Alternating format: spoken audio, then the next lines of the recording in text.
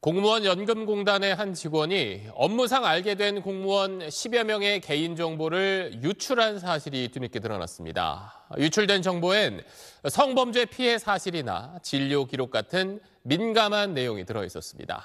조윤아 기자의 단독 보도입니다. 공무원들이 업무와 관련해 다쳤을 때 공무상 요양을 신청하는 종합재해보상 포털입니다.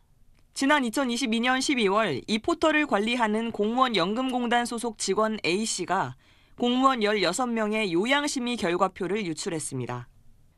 16명이 각각 자신의 심의 결과만 볼 수 있게 해야 하는데 자기 결과표뿐 아니라 나머지 15명의 결과도 조회할 수 있게 한 겁니다.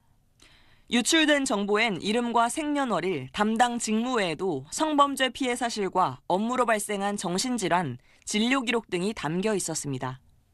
후속 조치도 문제였습니다. 2개월 뒤 유출 사실을 알게 된 한 명이 A씨에게 항의하자 A씨는 16명 가운데 직접 문제를 제기한 한 명의 정보만 비공개 조치했습니다.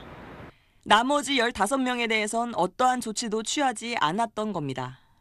이 때문에 반년 가까이 성범죄 피해 사실이 노출된 피해자는 심각한 정신적 피해를 호소한 걸로 알려졌습니다. 징계 과정도 논란입니다. 공단 감사실은 A씨에 대해 업무 실수라며 견책이나 감봉이 적당하단 경징계 의견을 밝혔는데 피해자들이 반발하자 그제서야 징계 수위를 높여 한 달 정직 처분이 내려졌습니다. 국가가 제대로 관리하지도 못했고 시정 요구가 있었음에도 불구하고 체계적인 대응을 하지 못했습니다. 공단 측은 개인정보보호 관리 체계를 개선하고 직원들에게 관련 교육을 실시하는 등 재발 방지 대책을 마련했다고 밝혔습니다. SBS 조윤아입니다.